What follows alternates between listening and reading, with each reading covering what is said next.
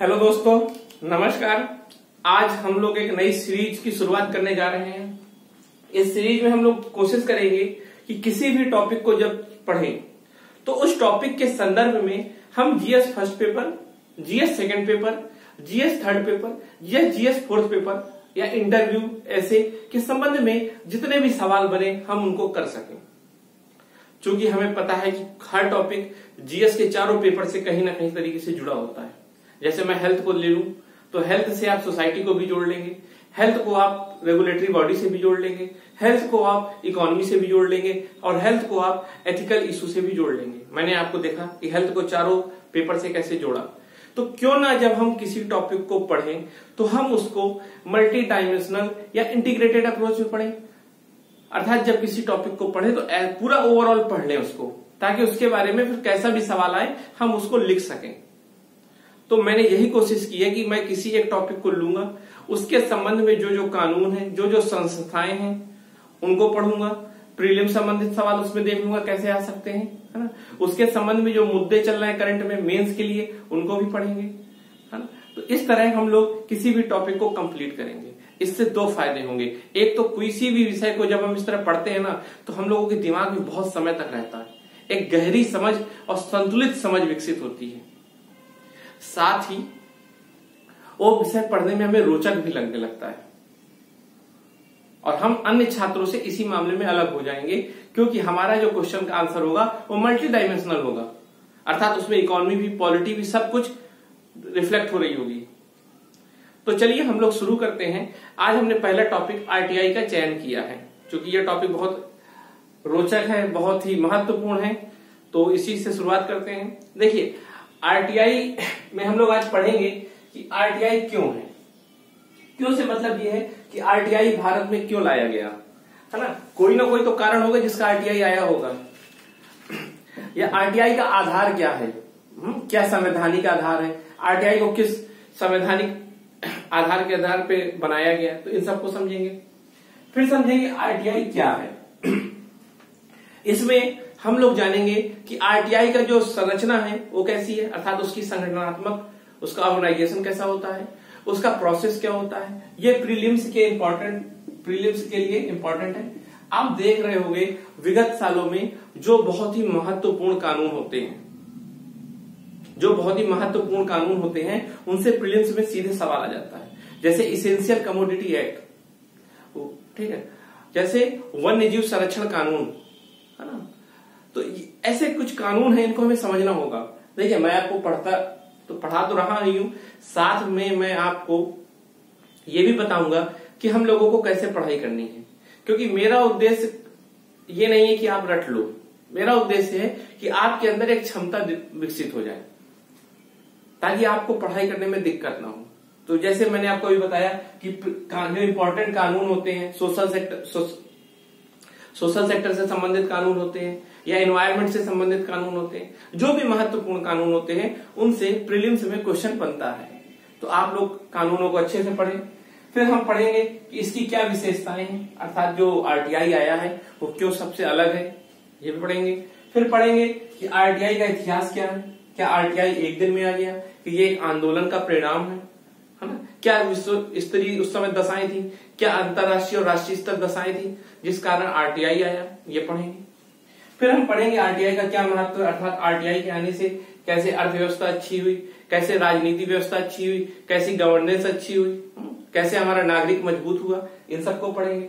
फिर पढ़ेंगे क्या आरटीआई में कोई कमियाँ हैं? क्योंकि चूँकि आप जानते हो कि कोई भी अपने आप में परफेक्ट नहीं होता, है ना? हर चीज़ में कमियाँ होती है तो उनको समझेंगे। फिर कमियों को हमें सुधार भी करना है, सुझाव। फिर आरटीआई के संबंध में कुछ मुद्दे हैं।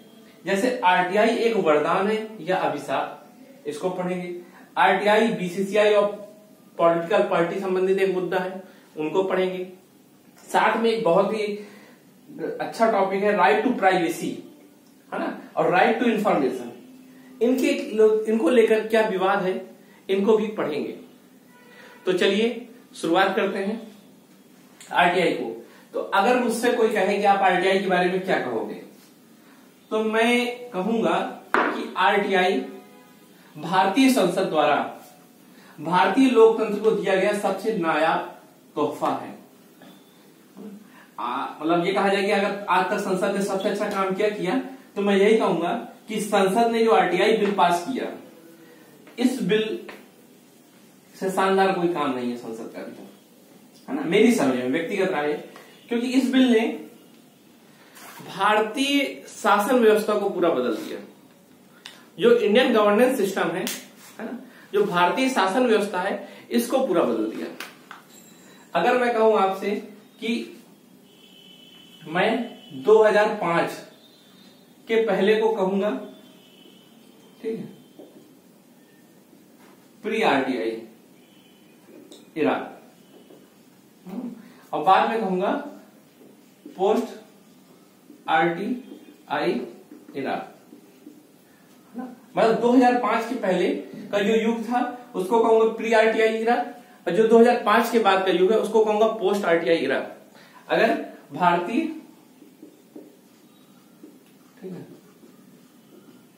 गवर्नेंस व्यवस्था के आधार पर बात करें। मैं दो भागों में बांट सकता हूँ आज़ादी के बाद के समय को। 2005 के पहले ये आरटीआई का रोल है। जैसे आप जानते होंगे कि उन्नीस सौ इक्यानवे के पहले की अर्थव्यवस्था अलग होती है। प्री इकोनॉमी ठीक है। प्री रिफॉर्म इकोनॉमी और पोस्ट रिफॉर्म इकोनॉमी ऐसा क्यों हम लोग करते हैं? क्योंकि पता है कि इक्यानवे में हमने जो कदम उठाए, इक्यानवे में हमने जो कदम उठाए, उसने भारतीय अर्थव्यवस्था में आमूल चूल परिवर्तन कर दिया। भारतीय अर्थव्यवस्था के स्वरूप को ही बदल दिया।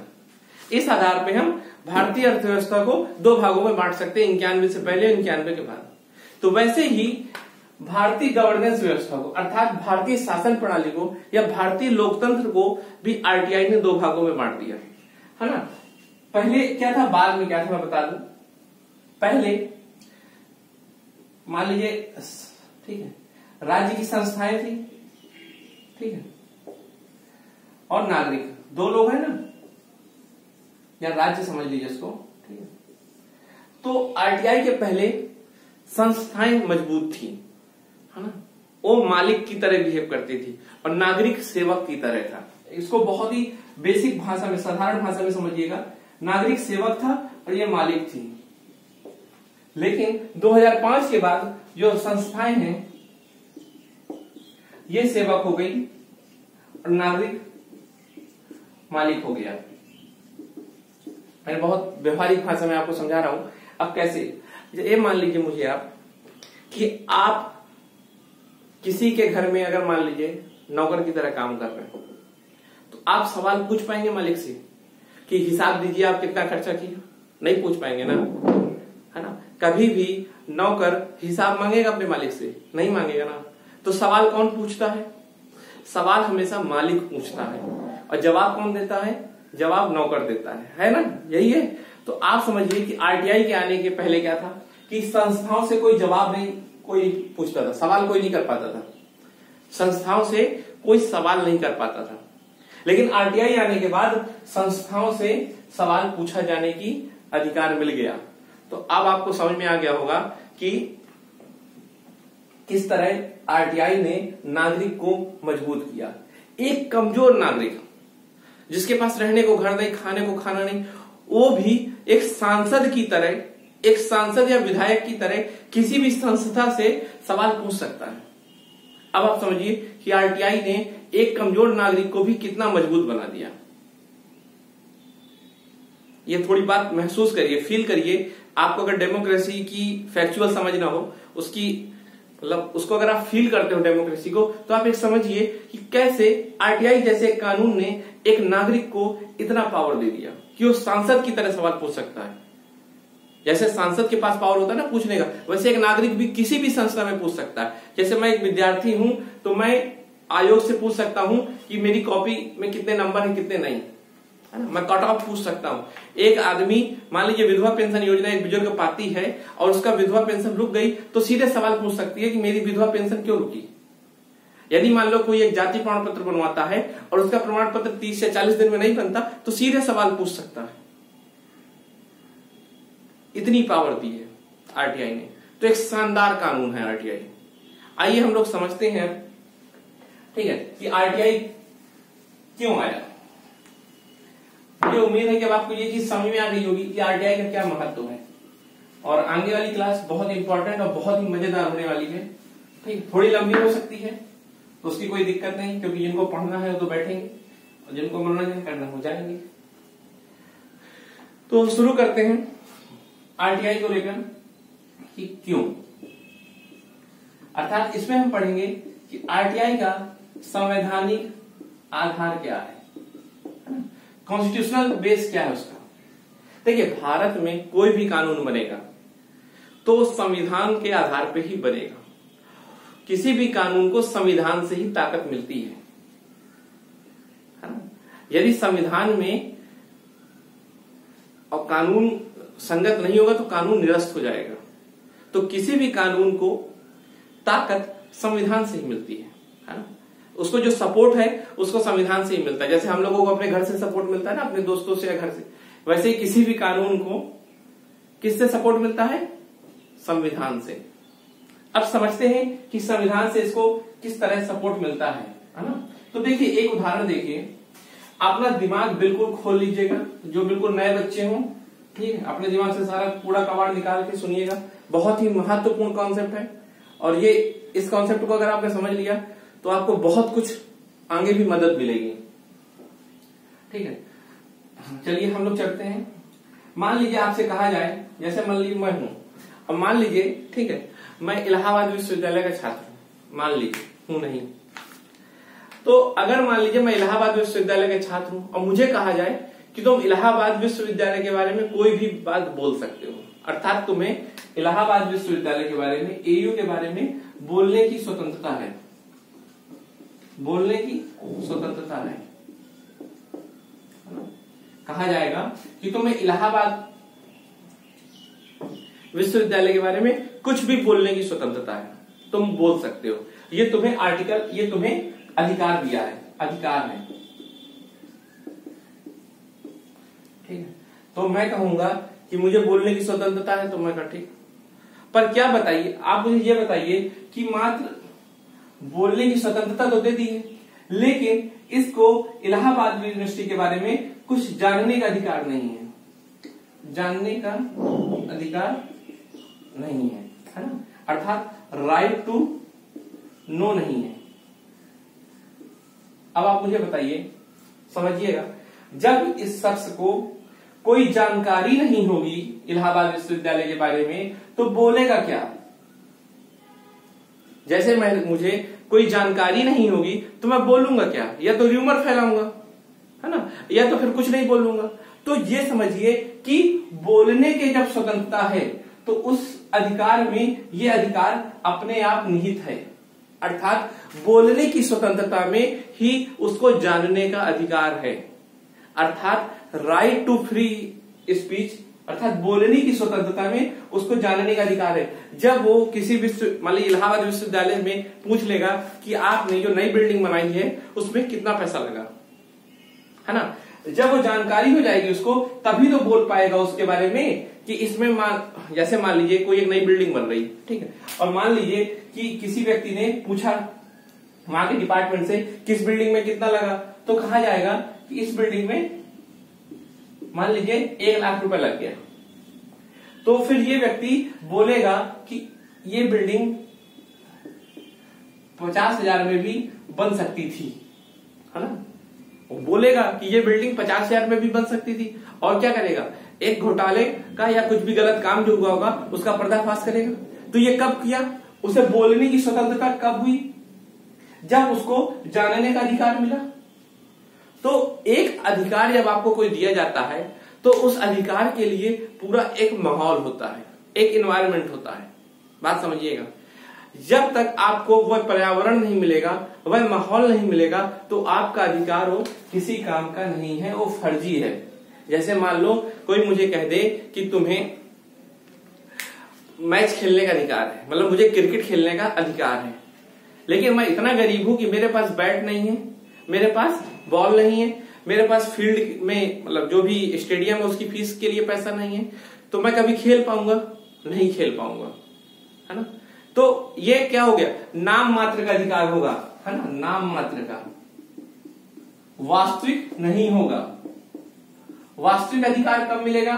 वास्तविक अधिकार मुझे तब मिलेगा जब मुझे, ठीक, वास्तविक अधिकार मुझे तब मिलेगा जब मुझे फाइनेंशियल सपोर्ट मिले, अर्थात एक माहौल मिले कि मैं बैट खरीद सकूँ, है ना?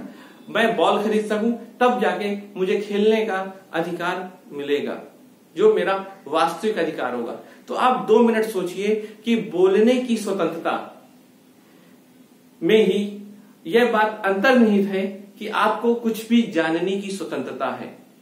अर्थात, बोलने का अधिकार आपको जानने का अधिकार अपने आप प्रदान करता है। इस बात को एक मिनट सोचिए।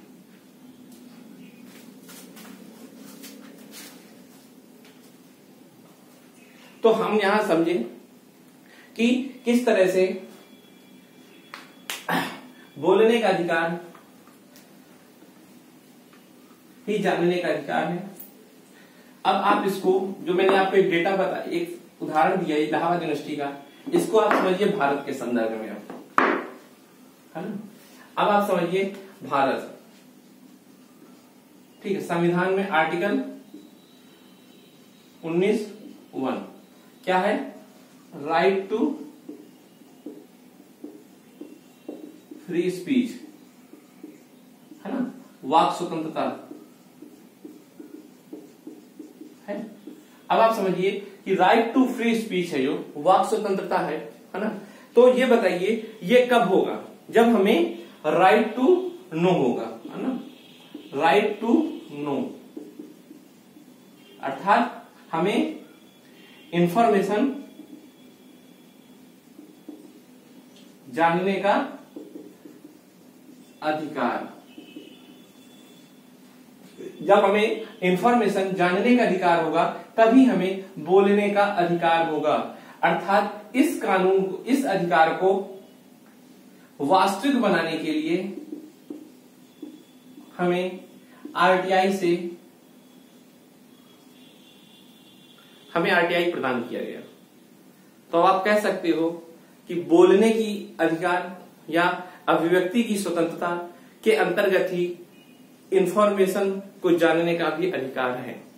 ये बात मुझे उम्मीद है कि आपको समझ में आ गई होगी। तो आप कह सकते हैं कि राइट टू नो आर्टिकल 91 में मिलता है। 91 में मिलता है। क्लियर दूसरी बात। पहला अधिकार तो एक तर्क ये हो गया।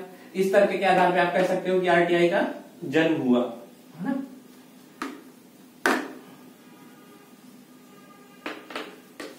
चलिए अब दूसरा देखते हैं। लोकतंत्र, डेमोक्रेसी। डेमोक्रेसी क्या होता है? जिसमें नागरिक ऊपर होता है और शासन संस्थाएँ नीचे होती हैं। संस्थाएँ नीचे। अर्थात हम भारत के लोग। हम भारत के लोग। है ना? यही है ना? जिसमें हम मतलब सभी नागरिकों को क्या दिया गया? पावर दिया गया। अब ये बताइए कि जब नागरिक मज़बूत है और टैक्स पेमेंट करते हैं तो क्या इसके बारे में उन्हें जानने का अधिकार नहीं होगा? डेमोक्रेसी में यही होगा ना। जब नागरिक पैसा दे रहे हैं, खर्चा कर रहे हैं तो उनको हिसाब भी तो चाहिए होगा। तो जब कोई नागरिक टैक्स दे रहा है तो उसको यह भी पता होना चाहिए कि उसका टैक्स कहाँ खर्च हो रहा है। इस कारण भी राइट टू इंफॉर्मेशन का अधिकार बनता है। यदि हम किसी को पैसा देते हैं तो हमें अधिकार है जानने का। मान लीजिए भाई, हम किसी को पैसा दे रहे हैं, हमें कुछ रिटर्न नहीं मिल रहा तो हमें ये तो जानने का अधिकार है कि हमारा पैसा कहाँ खर्च हो रहा है। अब जैसे मेरे पापा या मम्मी मुझको पैसा देते हैं, है ना? तो उनको जानने का भी तो अधिकार है। भाई, उनको मैं कोई सेवा या कोई वस्तु दे दू तो अलग बात है। लेकिन अगर वो मुझे पैसा दे रहे हैं, कोई उम्मीद भी नहीं कर रहे तो उनको जानने का तो अधिकार है कि तुम पैसे कहाँ खर्च कर रहे हो। तो वैसे ही, जब हम राज्य को पैसे दे रहे हैं तो राज्य से हमें जानने का भी अधिकार है कि राज्य ये पैसे खर्च कहाँ कर रहा है। बात क्लियर? जब राज्य, है ना? और डेमोक्रेसी है लोकतंत्र है, लोकतंत्र में नागरिक ऊपर होता है तो नागरिक को डेमोक्रेसी के आधार पर भी जानने का अधिकार है। भाई डेमोक्रेसी क्या कहता है? यही कहता है ना कि राज्य नागरिक ऊपर है। है ना? नागरिकों के पास सारी शक्ति है। तो जब नागरिकों के पास सारी शक्ति है तो नागरिकों को ये हर संस्था से पूछने का अधिकार है कि उसको जो पैसा दिया, वो कहाँ खर्च कर रहे हो। तो आप समझ सकते हो कि डेमोक्रेसी के आधार पर भी आप कह सकते हो कि आरटीआई का जन्म हुआ। है ना? अगर डेमोक्रेसी है तो नागरिक मज़बूत होने चाहिए। नागरिक मज़बूत कब होंगे? जब नागरिक किसी भी संस्था से कोई भी सवाल कर सके। क्योंकि सवाल कौन करता है? सवाल हमेशा मज़बूत या सशक्त आदमी करता है, जो ऊपर होता है। तो लोकतंत्र भी क्या कह रहा है? लोकतंत्र भी ये बोल रहा है कि हर नागरिक को हर बात जानने का अधिकार है। तो आपको ये समझ में आ गया होगा? कई ऐसे और तर्क हैं जिसके आधार पे हम आरटीआई को की उपयोगिता सिद्ध कर सकते हैं। जैसे आप एथिक्स में जाओ तो एक उपयोगिता मूलक तर्क है है ना? यूटिलिटेरियन है क्यों तो उसके आधार पे भी कर सकते हैं। ऐसे कई तर्क हैं। तो इस, अब ये धीरे धीरे पढ़ेंगे। जब हम आरटीआई को ना ओवरऑल जब पूरा पढ़ लेंगे तो आपको एक इसेंस दिमाग में आ जाएगा। आपके अंदर एक सार आ जाएगा। फिर उसके बाद आप आरटीआई के संबंध में कोई भी सवाल आएगा, आप उसको सॉल्व कर लोगे। चलिए आगे चलते हैं। तो मैंने आपको अभी बताया कि आरटीआई का जन्म क्यों हुआ। तो मैंने बताया कि आरटीआई भारत के लिए एक मूल अधिकार है। क्योंकि 1901 में, अर्थात 19 ए में दिया गया है। या भारत एक डेमोक्रेटिक राज्य है और डेमोक्रेसी में नागरिकों के पास शक्तियाँ होती हैं तो उसको जानने का भी अधिकार है। तो मैंने ये दो आपको आधार बताए। चलिए अब देखते हैं कि कैसे काम करता है। देखिए, हम आपको बताएँ। एक संस्था होती है, ठीक है? सीआईसी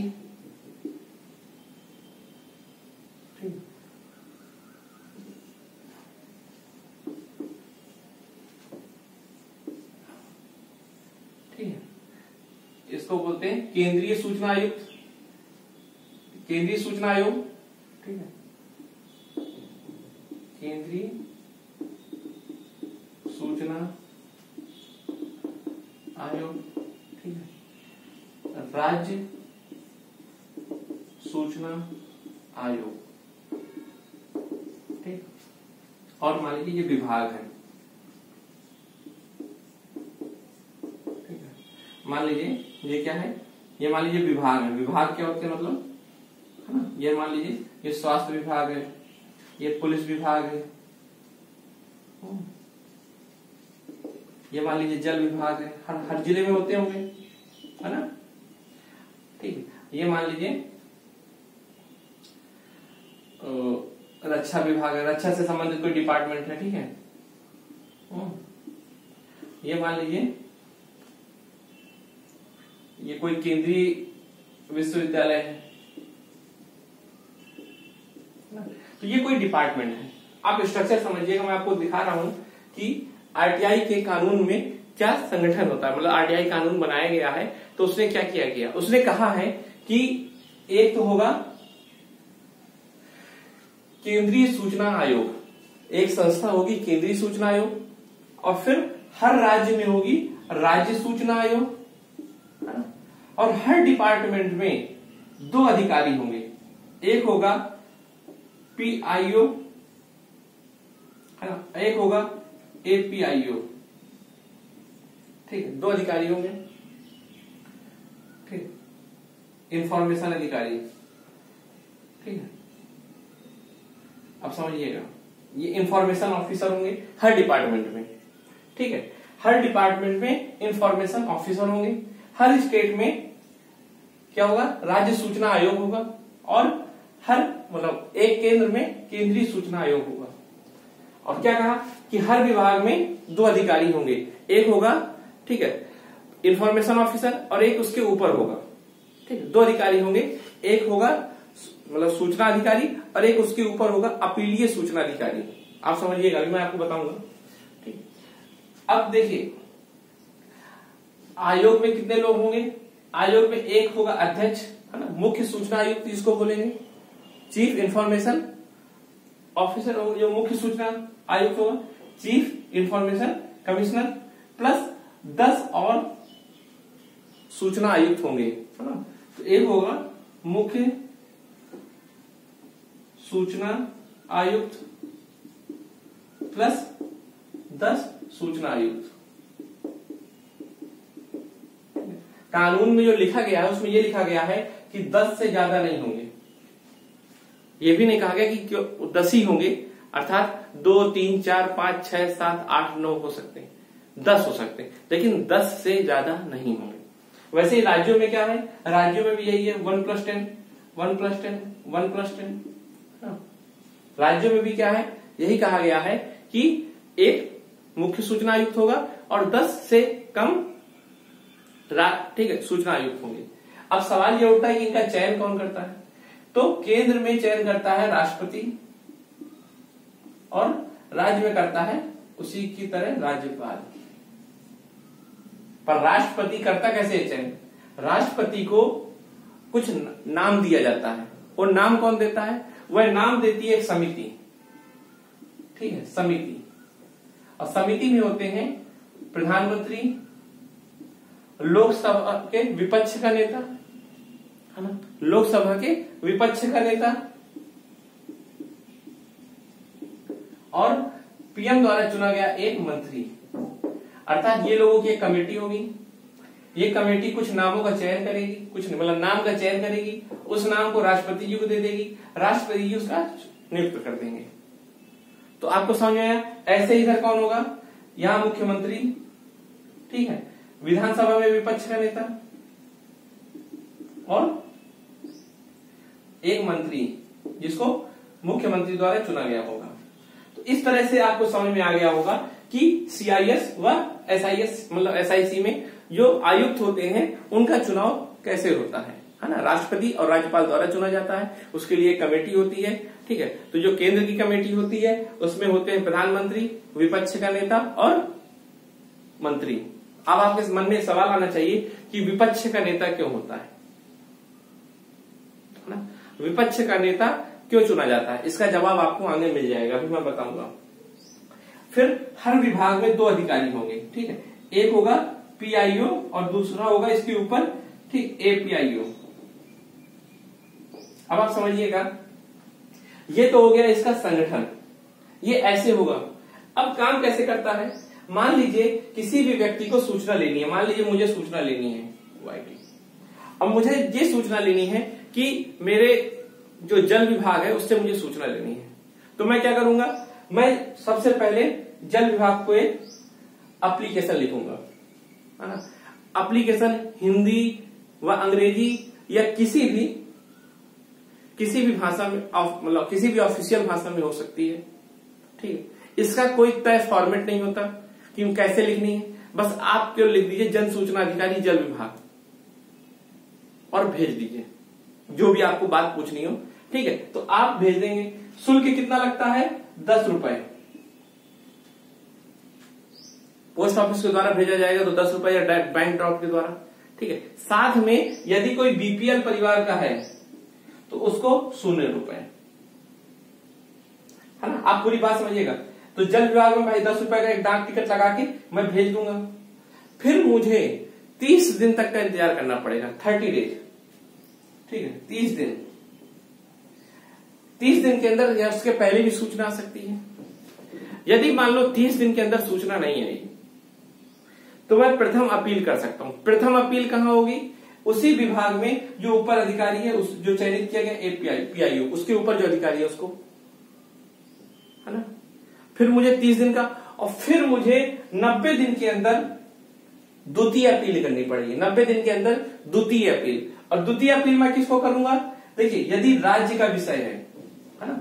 यदि राज्य से संबंधित विभाग है, जैसे मैंने आपको दिखाया, पुलिस विभाग राज्य के अंतर्गत होता है है ना? जल विभाग राज्य के अंतर्गत होता है, या स्वास्थ्य संबंधित कोई विभाग है तो भी राज्य के अंतर्गत होगा।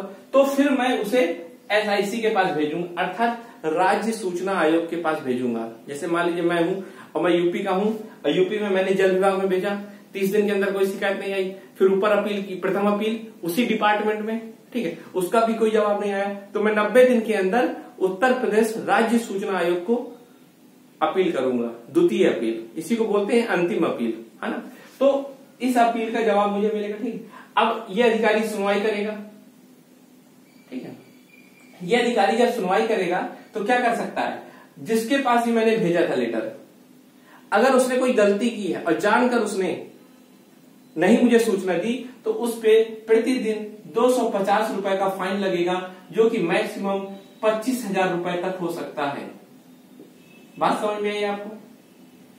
ये दोनों संस्थाएँ, अब जैसे मान लीजिए, मैं इलाहाबाद विश्वविद्यालय से संबंधित कोई चिट्ठी लिखता हूँ, है ना? तो इलाहाबाद विश्वविद्यालय में एक सूचना अधिकारी होगा।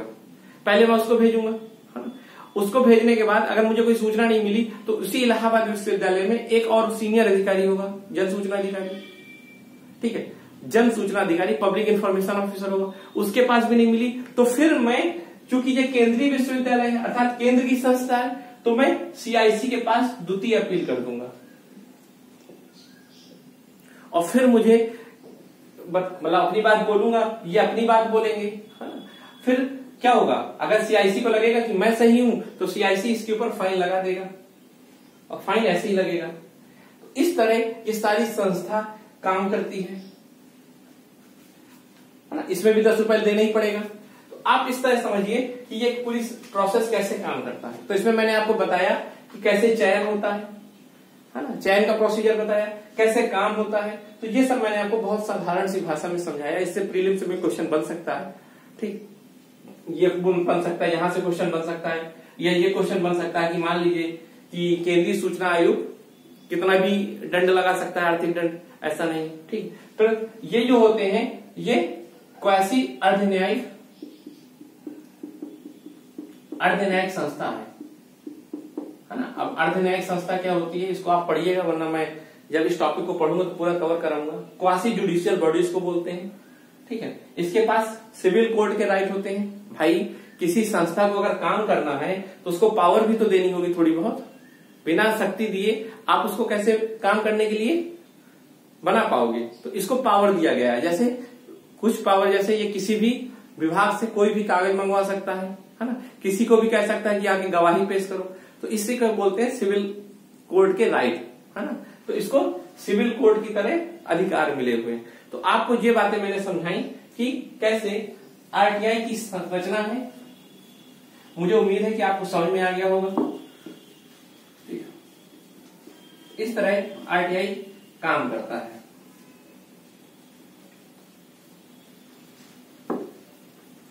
ठीक है। अब एक सवाल और है। कि भाई इसके अंतर्गत आता कौन कौन है? सबसे मेन सवाल है। ठीक है? इसके अंतर्गत कौन आता है? अर्थात आप किससे सूचना मांग सकते हो? ऐसा तो है नहीं कि मैं किसी के घर में भी लिख के भेज दूँगी भाई अपने अकाउंट का सारा जानकारी दो। या आज आपने क्या खाना खाया मुझे बताओ। है ना? ऐसा नहीं है। केवल सार्वजनिक संस्थाओं से पूछा जा सकता है।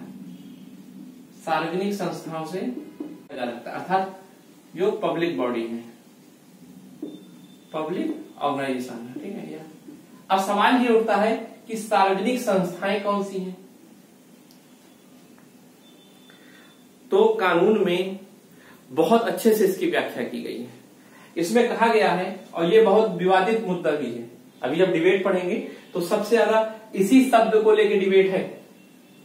इसी शब्द के संबंध में सबसे ज़्यादा डिबेट है आरटीआई के संबंध में। तो समझिए क्या है? अभी ये समझ लेते हैं। तो कहा क्या गया है कि कोई भी ऐसी संस्था, ठीक है, जिसको संसद द्वारा, संसद के कानून द्वारा बनाया गया है। कोई भी ऐसी संस्था जिसको विधानमंडल के कानून के द्वारा बनाया गया है। कोई भी ऐसी संस्था जिसको केंद्र सरकार व राज्य सरकार की अधिसूचना के द्वारा बनाया गया है। समझिएगा या कोई भी ऐसी संस्था, जो केंद्र सरकार व राज्य सरकार द्वारा नियंत्रित है। है ना? केंद्र सरकार व राज्य सरकार जिस पर नियंत्रित करती है, जैसे इलाहाबाद विश्वविद्यालय का नियंत्रण कौन करता है? केंद्र सरकार, है ना? तो वैसे ही फिर कोई भी ऐसी संस्था, जो प्रत्यक्ष व अप्रत्यक्ष रूप से प्रत्यक्ष व अप्रत्यक्ष रूप से सर, सर मतलब सरकार के पैसों से पोषित होती है।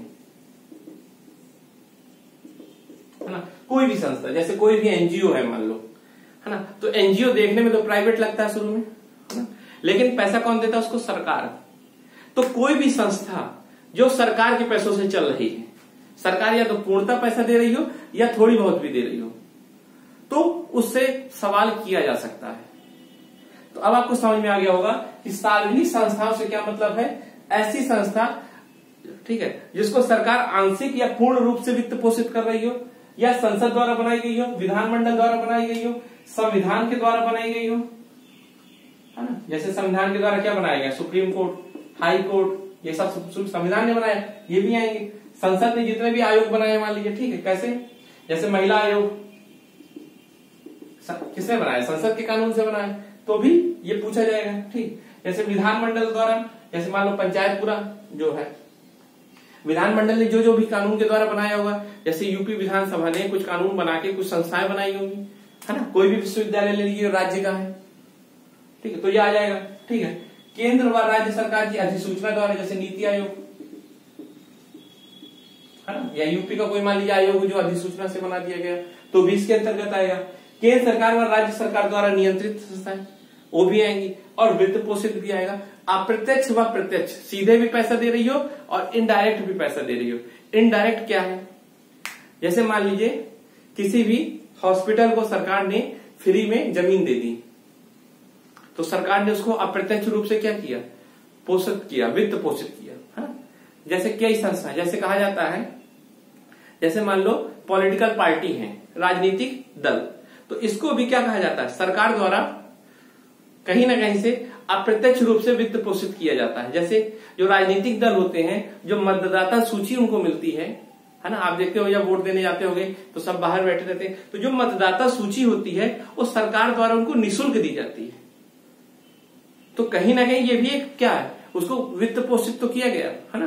तो इस तरह प्रत्यक्ष व अप्रत्यक्ष द्वारा अप्रत्यक्ष द्वारा भी अगर वित्त वित्त पोषित होगा तो वह सार्वजनिक संस्था कहलाएगा और वह आरटीआई के अंतर्गत आएगा। ये बात आपको समझ में आ गई? तो आप समझ सकते हो कि आरटीआई के अंतर्गत सार्वजनिक संस्थाएँ आती हैं और मैंने बता दिया कि सार्वजनिक संस्थाओं में कौन कौन आएगा।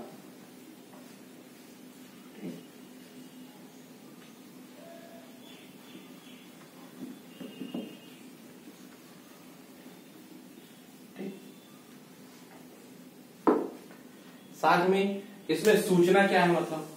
भाई, जो कानून बनाया जाता है ना तो कानून में हर बात को लिख दिया जाता है। एक मतलब कानून वही अच्छा है जिसमें सब बातें स्पष्ट हो, ताकि कोई कानून की अस्पष्टता का फ़ायदा उठा के, जैसे मान लो अस्पष्ट कानून होगा ना तो कोई भी बच के निकल जाएगा। जैसे इसका आपको एक अस्पष्टता का उदाहरण दू तो नरसिंह अवतार, इन्होंने क्या कहा था? न दिन में, न रात में। न नर, न नारी, है ना? न पशु, न इंसान। तो क्या कहा था? बीच में क्या रखा था? अस्पष्टता। और उसी का फ़ायदा उठाया था। एक अगर मिथक देख लो आप तो अगर जब बातों में क्लियरिटी नहीं होती या स्पष्ट नहीं होती तो उसका कैसे फ़ायदा उठाया जाता है? और आप तो जानते हैं कि वकील इसीलिए होते हैं, है ना? तो कोई कानून जितना स्पष्ट होगा उतना ही शानदार काम करेगा। अब सूचना भी क्या है? तो सूचना का मतलब ये है कि सार्वजनिक संस्थाओं के द्वारा के पास जो भी डेटा होगा, सार्वजनिक संस्थाओं के पास जो भी डेटा होगा, वो चाहे फ्लॉपी में हो, चाहे कंप्यूटर में हो, चाहे लैपटॉप में हो, चाहे कहीं भी हो, है ना? चाहे फाइलों में हो, जो भी डेटा होगा, उनको सूचना मानी जाएगी। चाहे इलेक्ट्रॉनिक डिवाइस में हो, चाहे फिर ऐसे कोई मतलब रजिस्टर रजिस्टर में लिख के रखा गया तो उन सभी को सूचनाओं के अंतर्गत माना जाएगा। अर्थात उसके संबंध में जानकारी देनी होगी। इसके अंतर्गत आप ऐसे कर सकते हो कि मुझे इस योजना के संबंध में इस फ़ाइल की फोटोकॉपी भेजो तो आपको वो मिलेगी। अर्थात आपको सब कुछ जानने का अधिकार है। अब सवाल यह है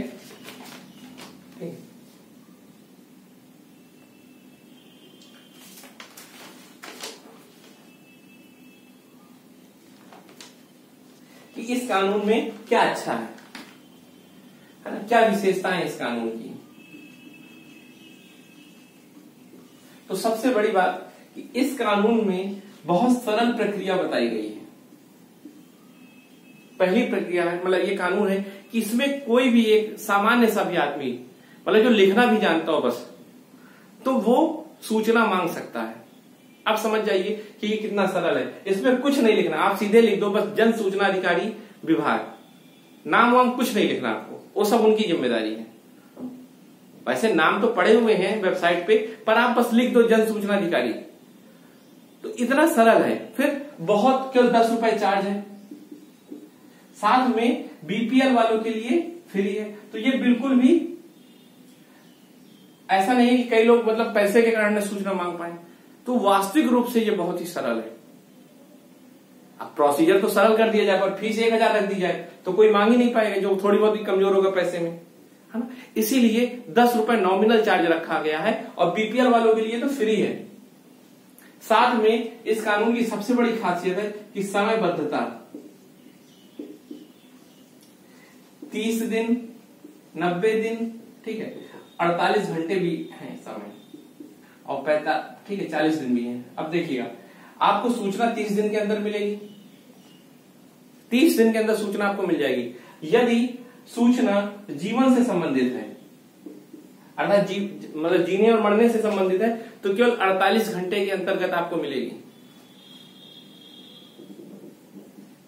48 घंटे में आपको सूचना मिल जाएगी। यदि सूचना का संबंध आपके जीने और मरने से है, साथ ही यदि मान लीजिए आपको किसी विभाग से सूचना मांगना है है ना?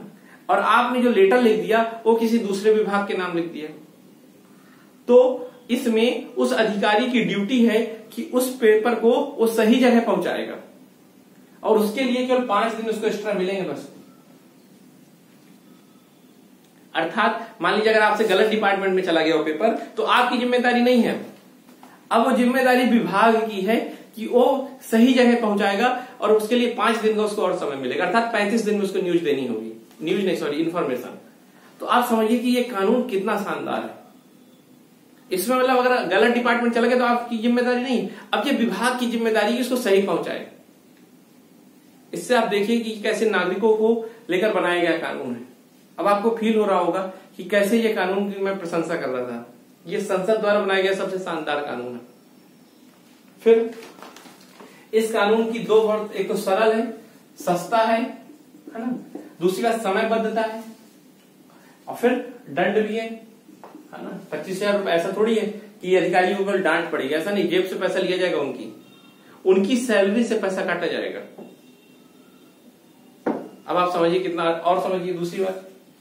इसका दायरा बहुत बड़ा है कानून का। आपने देखा होगा कि इसने केवल सार्वजनिक संस्थाओं को बस ऐसे नहीं टच कर लिया। इसने क्या कहा? सभी तरह से प्रत्यक्ष व अप्रत्यक्ष रूप से वित्त पोषित। अर्थात ये क्या बीसीसीआई को भी अंदर ले आएगा? और जितने भी प्रत्यक्ष है तो ठीक है। अप्रत्यक्ष संस्थाओं को भी ये अंतर्गत ला रहा है। तो आप देखिए इस संस्था का इसका कितना बड़ा दायरा है। प्लस इसमें जब आपको सूचना मांगनी है तो आपको अपना नाम देना है। कोई उद्देश्य नहीं बताना कि मैं सूचना क्यों मांग रहा हूँ। आपको सूचना मिलेगी। ना नाम बताना, ना आपको उद्देश्य बताना है आपको, ना कोई अपना, आपको आईडी कार्ड देना है। केवल आपको बस लिख देना है अपना नाम, ताकि आपके लेटर में तो आपके घर ही आएगा ना बाद में लेटर तो आपको अपना पता लिखना ही पड़ेगा, है। उसके अलावा आपको कुछ नहीं बताना, कोई उद्देश्य नहीं बताना। अब आप समझिए यह कानून कितना सरल है। ठीक।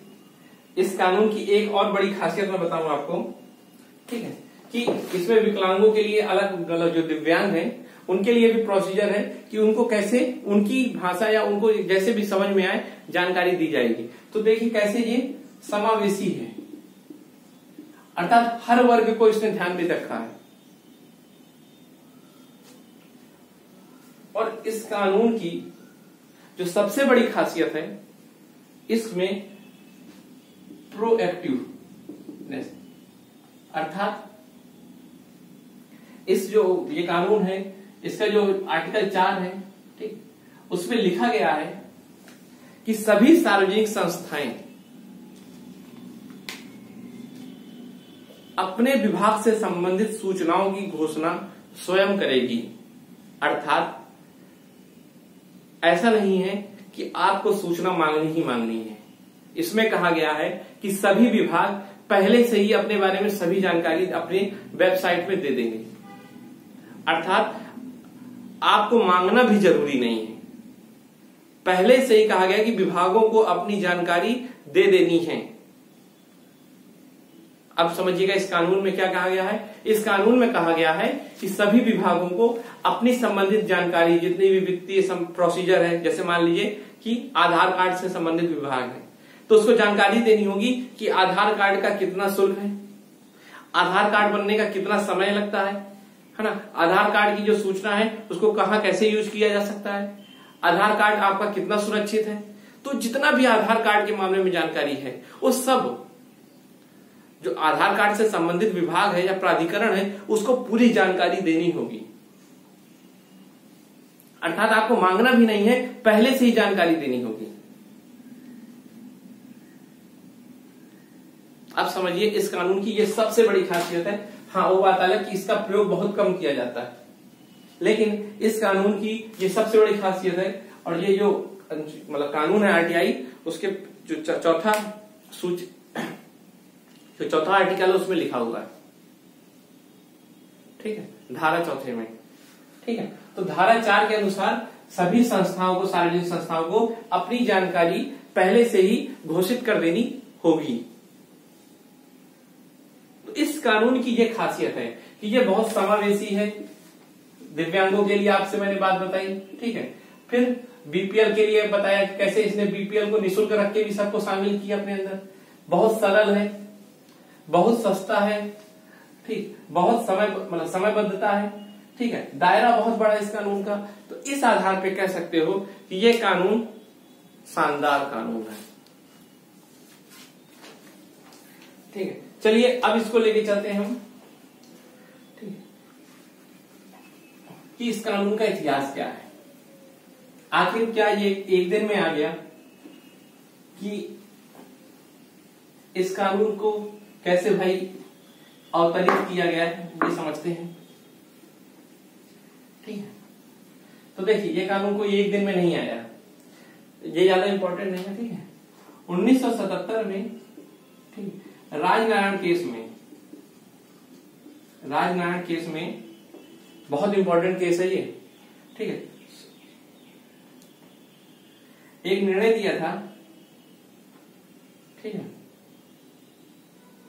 राजनारायण केस में एक निर्णय दिया था कि जितनी भी सार्वजनिक गतिविधियाँ हैं, जितनी भी सार्वजनिक गतिविधियाँ हैं ठीक है, जज मैथ्यू थे। ठीक है, जस्टिस मैथ्यू ने दिया था। जस्टिस मैथ्यू ने दिया था कि जितनी भी सार्वजनिक गतिविधियाँ हैं, उसके बारे में नागरिकों को जानने का अधिकार है। हाँ एक बात याद रखिएगा, इसमें केवल नागरिक अप्लाई कर सकते हैं बस, और कोई नहीं। नागरिक, निवासी नहीं। नागरिक और निवासी में अंतर होता है, ठीक है। ये प्री में क्वेश्चन आ सकता है प्रीलिम्स में। निवासी नहीं, केवल नागरिक, बस। अर्थात जो भारत का नागरिक है, वही आरटीआई दायर कर सकता है। ऐसा नहीं कि सभी को, जैसे जैकलिन फर्नांडिस है ना, जो एक्ट्रेस है, वो नागरिक नहीं है, निवासी है। वो आरटीआई नहीं कर सकती। तो ये बात आप अपने दिमाग में बैठा लीजिएगा कि इसको फिर नागरिक कर सकते हैं। तो 1977 में पहली बार जज ने कहा कि सार्वजनिक गतिविधियों के बारे में जानने का अधिकार नागरिकों को है। फिर उसके बाद, ठीक है 90 के डिकेड में क्या हुआ कि अंतरराष्ट्रीय स्तर पे भी मान लीजिए, ठीक है, एक गुड गवर्नेंस का कॉन्सेप्ट आ रहा था। सुशासन। गुड गवर्नेंस मतलब जो शासन प्रणाली होती है, अर्थात जो शासन प्रणाली होती है, उसको बेहतर से बेहतर करना। ये वर्ल्ड बैंक की तरफ़ से आया कॉन्सेप्ट था। अब आप समझोगे कि भाई गवर्नेंस का मतलब वर्ल्ड बैंक से क्या होता है? तो आप मुझे एक बात बताओ कि किसी देश में आर्थिक गतिविधियाँ कब अच्छी होंगी? किसी देश में आर्थिक गतिविधियाँ कब अच्छी होंगी? जब उस देश में भ्रष्टाचार होगा, तब, कि जब उसमें भ्रष्टाचार नहीं होगा तब। या किसी देश में जब प्रशासन बहुत शानदार रूप से काम कर रहा होगा, पुलिस व्यवस्था बहुत अच्छी होगी, सारे अधिकारी बहुत अच्छे से काम कर रहे होंगे, तब इकोनॉमिक एक्टिविटी बढ़ेगी कि तब बढ़ेंगे जब सारे अधिकारी भ्रष्टाचार में बैठे हैं, कोई डिपार्टमेंट काम ही नहीं कर रहा, बिजली का कनेक्शन कब करने जाओ तो एक साल में होता है, ठीक है? इनकम टैक्स भरने जाओ तो तीन दिन लाइन में लगा रहना पड़ता होगा, ठीक है? तो इस तरह के माहौल में आपके यहाँ अच्छा आर्थिक गतिविधियाँ होंगी कि ऐसे माहौल में आर्थिक गतिविधियाँ होंगी कि जब बहुत चीज़ें सरल हो ईज ऑफ़ डूइंग बिज़नेस तब होगा। आपके यहाँ भारत में और मान लीजिए भारत और चीन है, मान लीजिए, या भारत और यूएसए है, मान लीजिए दो तो कोई कोई व्यक्ति कहाँ पर बिज़नेस करना पसंद करेगा? भारत में करना पसंद करेगा कि यूएसए में पसंद करेगा? तो यूएसए में क्यों? क्योंकि यूएसए में क्या है? आप, वहाँ का प्रशासन बहुत, क्या है? वहाँ का प्रशासन सिटीजन सेंट्रिक है, अर्थात नागरिक केंद्रित है है ना? Citizen centric. नागरिकों के लिए क्या है? संवेदनशील है। ऐसा नहीं कि भारत में जैसे पहले होता था, ठीक है, कि पाँच बजना है, पाँच बजे ऑफ़िस बंद होता है, और चार तीस से ही बाबू माहौल बनाने लगता था। कि बंद होने वाला है, बंद होने वाला है, होने वाला है ना? नागरिकों की कोई केयर नहीं है उसे। बस उसे समय पूरा करना है, बस बैठ के। है। कोई फ़ाइल में थोड़ी सी गलती है, हटाओ इसे। क्यों? क्योंकि नागरिकों के लिए नहीं, वो बस नियमों से चल रहा है। उसे नागरिकों से मतलब नहीं। समझे?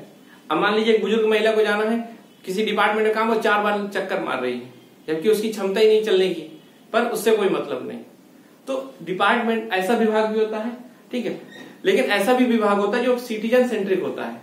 कि अगर मान लीजिए कोई वृद्ध को समस्या तो सीधे उसके घर चले जाएँगे अधिकारी। कि आप बुज़ुर्ग आप परेशान ना हो, हम। तो दो तरह के होते हैं। अब आप बताइए कि आर्थिक गतिविधियाँ कहाँ अच्छी होंगी? यहाँ पर प्रशासन शानदार होगा, है ना? अर्थात गुड गवर्नेंस होगा। तो अब समझ में आया आपको वर्ल्ड बैंक से क्यों मतलब है? क्योंकि गुड गवर्नेंस एक आर्थिक धारणा है। जितना अच्छा गवर्नेंस उतना अच्छा इकोनॉमी एक्टिविटी होगी। इसीलिए वर्ल्ड बैंक ने इसको प्रमोट किया। और गुड गवर्नेंस के लिए सबसे ज़्यादा ज़रूरी है क्या? सूचना का प्रवाह अभी मैं आपको बताऊँगा कैसे? ट्रांसपेरेंसी पारदर्शिता। ट्रांसपेरेंसी सबसे ज़्यादा ज़रूरी है। ट्रांसपेरेंसी कैसे मैं आपको बताऊँ? कि आप मुझे एक उदाहरण दीजिए कि जैसे मान लीजिए कि मुझे आप सबने पैसा दिया। यदि मुझे उस पैसे का हिसाब आपको देना हो तो मैं उस पैसे का गलत यूज़ कर पाऊँगा। नहीं ना। अगर मुझे उस पैसे का हिसाब देना होगा तो मैं आपको गलत जानकारी नहीं दूँगा। सॉरी मैं आपको, अगर मुझे उस पैसे की जानकारी देनी होगी तो मैं उस पैसे को गलत कामों में नहीं लगाऊँगा। या भ्रष्टाचार नहीं करूँगा। यदि मान लीजिए मुझे कहा जाए कि एक बिल्डिंग पूरी बनवानी है और बिल्डिंग के बारे में कैसे बनी, उसमें कैसा मसाला यूज़ हुआ, कौन सा पेंट लगा, कारीगर को कितना रुपए दिया, क्या डिज़ाइन थी डिज़ाइन किससे बनवाई? अगर मुझे ये सब जानकारी देनी होगी तो क्या बताइए, मैं गलत तरीके से बिल्डिंग बनवा पाऊँगा क्या? नहीं बनवा पाऊँगा ना? तो मैं कब गलत काम करता हूँ? जब मैं सूचनाओं को छुपा सकूँ। लेकिन चूँकि आरटीआई आ गया आरटीआई के आने से क्या होगा? सूचनाएँ बतानी ही पड़ेंगी आपको। जब बताना ही पड़ेगा तो मैं गलत काम नहीं कर पाऊँगा। अर्थात पारदर्शिता, जैसे ही सूचना का प्रवाह आता है तो ट्रांसपेरेंसी आती है। ट्रांसपेरेंसी आती है तो अधिकारी कोई भी काम गलत नहीं कर पाते तो गुड गवर्नेंस आता है। जैसे मान लो, मेरे पास कोई महिला आई विधवा पेंशन के लिए। मैंने उसे दस दिन वापस किया लगातार। मेरा मन था उससे थोड़ी घूस लेने का। है ना कि कुछ पैसे दे देगी। लेकिन अब उस महिला ने आरटीआई से पूछ लिया कि विधवा पेंशन पाने के लिए कितना समय लगता है? है ना? तो ये बताइए, अब तो मैं दबाव में आ गया ना। अब मैं दबाव में आ गया कि अब मुझे इसका देना ही पड़ेगा। क्यों? क्योंकि इसको अब सही जानकारी हो गई है। और जितनी अच्छी इसको जानकारी होगी, ये कोर्ट भी जा सकती है। है ना? तो मेरे ऊपर बवाल हो जाएगा। तो मुझे क्या करना पड़ेगा? मुझे इसे जल्दी से जल्दी देना पड़ेगा। अगर मान लीजिए ये है कि विधवा पेंशन एक दिन में मिलनी चाहिए तो मुझे एक दिन में देना पड़ेगा। क्योंकि वो महिला के पास जानकारी है और जानकारी आपको सशक्त करती है।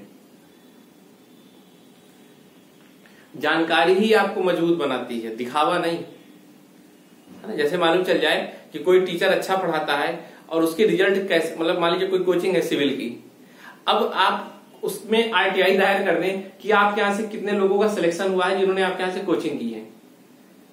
तो उनको सही जानकारी अगर देनी पड़ेगी तो फिर जो फर्जी के पोस्टर लगाए रहते हैं नहीं होंगे।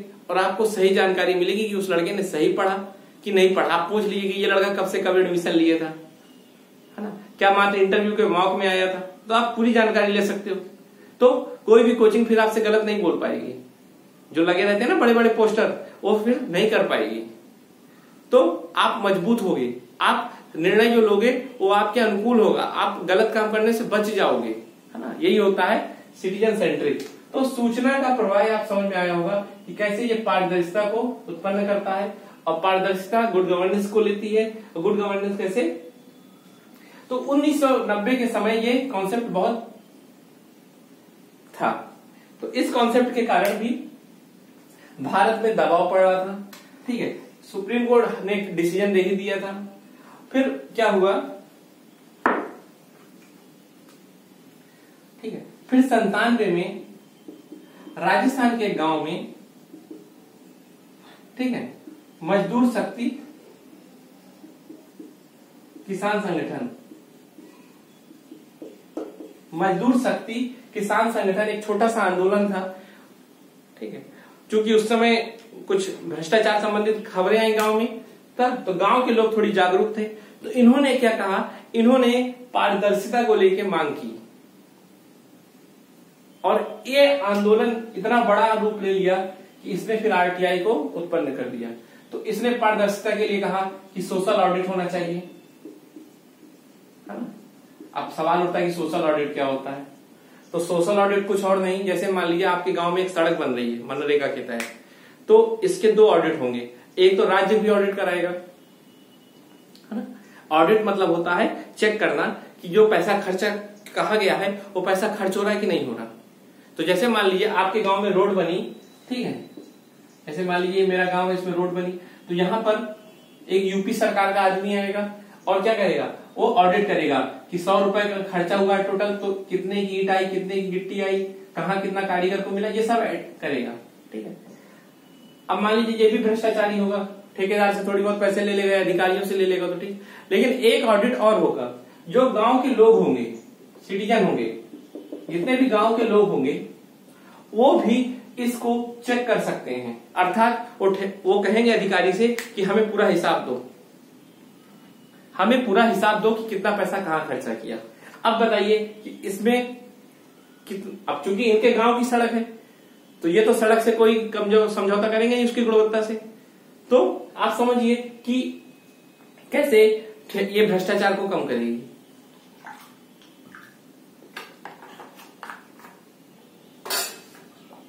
बात समझ में आई आपको? तो ये आंदोलन उठा। अब इसके लिए क्या चाहिए? सूचनाएँ तो चाहिए ना। सूचना। बिना सूचना के तो कोई नहीं पूछ पाएगा। जैसे अब मेरे गाँव में बनेगी सड़क तो मुझे सूचना चाहिए कि सड़क कितनी लंबी थी, इसमें कौन से आइटम यूज़ हुए, कारीगर मतलब कौन आया, कैसे, सब पूरी सूचना चाहिए। तो फिर सूचना को लेकर मांग उठी। तो इस तरह आप कह सकते हैं कि एक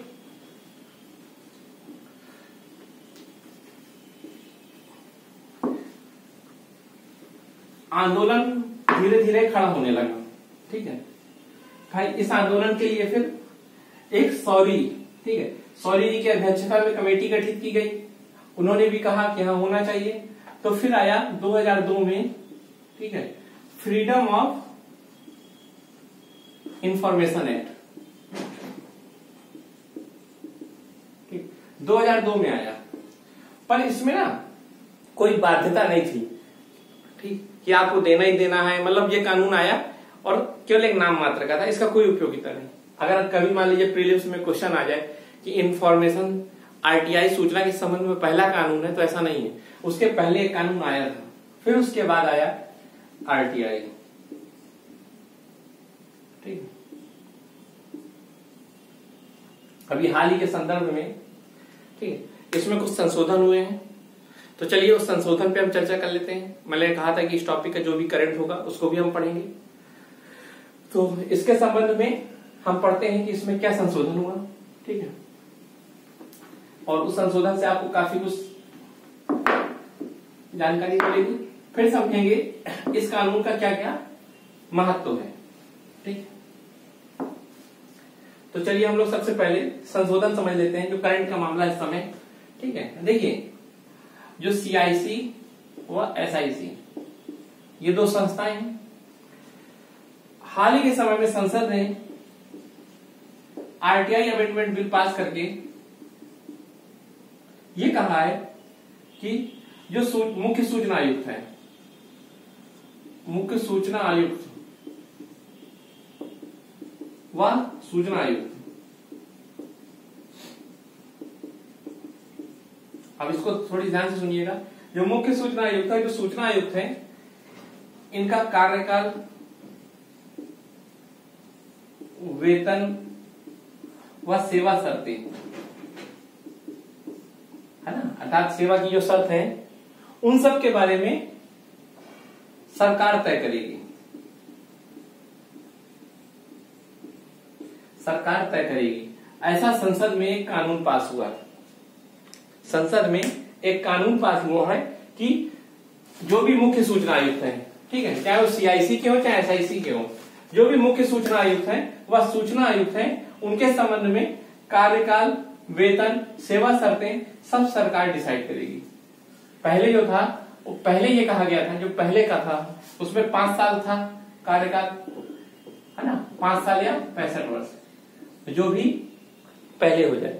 जैसे मान लीजिए कोई आदमी है अब वो पचपन साल में सूचना आयुक्त बन गया, है ना? तो पचपन साल में वो साठ साल बाद पाँच उसका कार्यकाल हो जाएगा, पाँच साल का। तो उसको सेवा निवृत्त होना पड़ेगा। लेकिन मान लीजिए कोई बासठ साल में बना तो ऐसा नहीं कि ये पाँच साल ही जॉब करेगा। अगर तीन साल बाद भी पैंसठ का हो जा रहा है तो इसको निकाल दिया जाएगा। तो जो भी इसमें से होता है, पाँच साल या पैंसठ वर्ष तो हटा दिया जाएगा, सेवा निवृत्त हो जाएगा। तो पहले ये था। और साथ में ये कहा गया था कि जो उनका वेतन वेतन था, वो क्या होगा? वो जो मुख्य निर्वाचन आयुक्त चीफ इलेक्शन कमिश्नर या जो निर्वाचन आयुक्त। इनकी तरह होगा सेम ऐसा कहा गया था। यह कहा गया था, ठीक है, संशोधन के पहले की बता रहा हूँ कि जो मुख्य सूचना आयुक्त है मुख्य सूचना आयुक्त की जो सेवा शर्तें होंगी या जो सैलरी होगी, वो क्या होगी? मुख्य निर्वाचन आयुक्त के बराबर। बात समझिएगा? ठीक है? और जो सूचना आयुक्त है, उसका सब कुछ होगा निर्वाचन आयुक्त के बराबर। ऐसा कहा गया था। परंतु सरकार ने क्या कह दिया? सरकार ने कहा, ऐसा नहीं है, अब हम तय करेंगे। बात समझ में आपको? सरकार ने कह दिया कि जो पहले कहा गया था कि मुख्य निर्वाचन आयुक्त व निर्वाचन आयुक्त की तरह सेवा शर्तें होंगी और ऐसा नहीं है। अब हम सब तय करेंगे। तो अब सवाल ये उठता है कि ऐसा सरकार ने क्यों कहा? तो सरकार ने अपना तर्क दिया है। भाई, सरकार कुछ ना कुछ तो तर्क देगी। इसका बहुत विरोध हुआ। ठीक है, कहा गया कि ये कानून को कमज़ोर कर रहा है। तो मैं ये भी बताऊँगा कि कैसे ये कानून को कमज़ोर कर रहा है। साथ में ये भी बताऊँगा कि सरकार ने क्या इसमें तर्क दिया? सरकार ने कहा है कि ये संवैधानिक बॉडी है। संवैधानिक निकाय कौन? मुख्य निर्वाचन आयुक्त। है ना? मुख्य निर्वाचन आयुक्त। तीन सौ चौबीस आर्टिकल में है, ठीक है? मुख्य निर्वाचन आयुक्त संवैधानिक है। या निर्वाचन आयुक्त को भी, ठीक है? जबकि मुख्य सूचना आयुक्त मुख्य सूचना आयुक्त। ठीक है? साविधिक है, ना कि संवैधानिक? साविधिक। तो कहा कि एक संवैधानिक पद है और एक साविधिक पद है। ये कहा कि एक संवैधानिक पद है और एक साविधिक पद है। तो कैसे ये लोग समान रूप से सेवा शर्तों का भोग करेंगे? अर्थात कैसे ये समान सेवा शर्तों को मानेंगे? ऐसा नहीं है। जब दोनों का आधार अलग अलग है तो दोनों की सेवा शर्तें भी अलग अलग होंगी। दोनों का काम अलग अलग है तो दोनों की सेवा शर्तें भी अलग अलग होंगी। बात समझ आ रही? जब मुख्य निर्वाचन आयुक्त का काम अलग है, ठीक है, और मुख्य सूचना आयुक्त का काम अलग है तो इनके लिए एक सी सेवा शर्तें कैसे होंगी? एक सा कैसा होगा? एक का संवैधानिक अधिकार, अर्थात एक संविधानिक पद है, इतना बड़ा पद है, और एक संविधिक पद है तो ऐसा भी नहीं है। तो केंद्र सरकार ने कहा है कि इन दोनों का जब आधार अलग अलग है तो इनको एक सी सेवा शर्तें नहीं दी जा सकती। बात समझ में आ रही है आपको? तो ये तर्क दिया है मेन ठीक है? और इस तर्क के आधार पे कहा है कि हम मुख्य सूचना आयुक्त व सूचना आयुक्त के संबंध में सेवा शर्तों को बनाएँगे। अब सवाल ये उठता है कि इसका महत्व क्या है या क्या इसका प्रभाव होगा? तो आप मुझे एक चीज़ ये बताइए कि जैसे मान लीजिए एक विभाग है, ठीक है? इस विभाग से कोई सूचना मांगी? मैंने। ठीक है? इस विभाग ने मुझे देने से मना कर दिया। या इसने मान लीजिए ऐसी सूचना दे दी जो जिससे मैं संतुष्ट नहीं हूँ। या मुझे गलत सूचना दे दी। आप समझिएगा कि जब कोई जब कोई गलत सूचना या आधी अधूरी सूचना दी जाती है, तब भी आप अपील कर सकते हो। तो मैं अपील कर दूँगा मान लीजिए सीआईसी को। ठीक है? अब मान लीजिए जो मुझे सूचना दी गई, वो गलत दी गई। अब मैंने सीआईसी को अपील कर दिया, ठीक चूँकि सरकार है ऊपर, सरकार ही सब इनके बारे में डिसाइड कर रही है। अब ये बताइए कि जो सूचना है, वो सरकार के भ्रष्टाचार को उजागर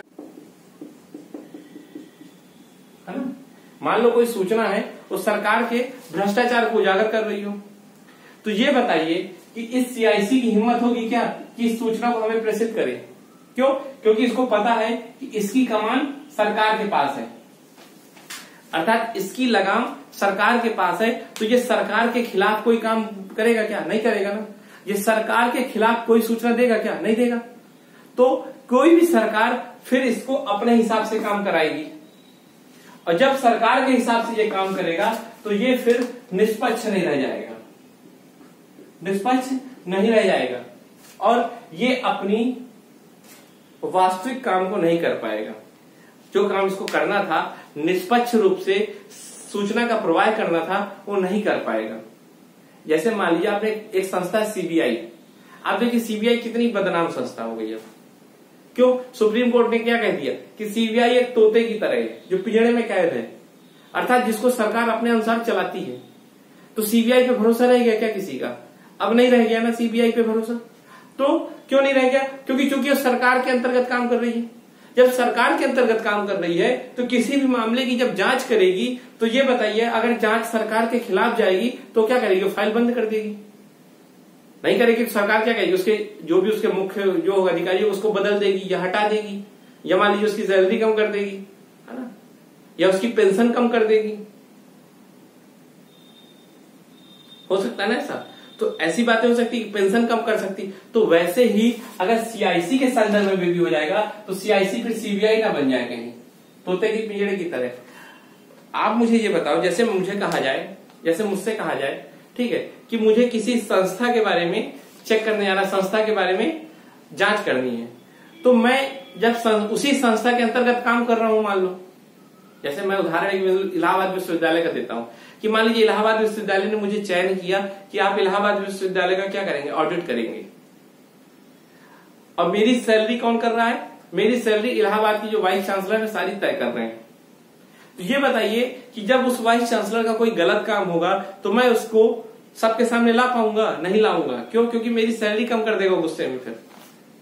है ना? या तो मैं बहुत वाला हिम्मत वाला हूँ तो भी अलग बात है। लेकिन सामान्यता क्या होगा? मेरी लगाम किसके पास है? वाइस चांसलर के पास है, जिसके खिलाफ मुझे काम करना है। तो मैं कभी नहीं कर पाऊँगा, क्योंकि यहाँ दो हित आए गए दो हित। एक हित होगा कि मैं अपनी सैलरी बढ़ाऊं, कि एक हित होगा मैं अपना काम करूँ सही। और जब दो हितों में टकराव होगा तो मैं अपने वाले हित को पहले दूँगा, है ना? तो जहाँ भी दो हितों का टकराव होता है, वहाँ पर भ्रष्टाचार बढ़ जाता है। तो इस तरह, अब आप देखिए कि सीआईसी के दो हित हो जाएँगे। एक तो सरकार की चापलूसी करना, है ना? अपनी सैलरी वैलरी को लेकर। या तो फिर सही काम करना। तो इन दोनों के हितों में जब टकराव होगा, अब देखिए यहाँ एथिकल इशू आ गया। यहाँ से पेपर फोर्थ आप देख सकते हो। पेपर फोर्थ में कोई सवाल आएगा कंफ्लिक्ट ऑफ़ इंटरेस्ट तो वहाँ आप इसको लिख सकते हो। है ना? इसको उदाहरण के तौर पे भी लिख सकते हो, या सीधे यहीं से सवाल आ जाएगा। तो सरकार क्या है? कि सरकार ने इसकी स्वायत्ता कम कर दी है। जब किसी भी संस्था की स्वायत्ता कम होती है तो उसके काम करने की दक्षता या ठीक है, या उसका जो वर्क कल्चर है, कमज़ोर हो जाएगा। इस तरह यह कहा जाता है कि सरकार ने जो संशोधन किए हैं वर्तमान में, वो संशोधन सीआईसी की स्वायत्ता को कम करते हैं, जो कहीं ना कहीं उसके काम को नकारात्मक रूप से प्रभावित करेंगे। तो ये आलोचना हो रही है वर्तमान के संशोधन की। तो आपको मैंने बताया कि सरकार ने क्या तर्क दिया? सरकार ने यह तर्क दिया है कि चूँकि इन दोनों का आधार अलग है, दोनों के काम करने का तरीका अलग है, दोनों के काम करने का क्षेत्र अलग है, इसलिए दोनों की सेवा शर्तें अलग अलग होंगी।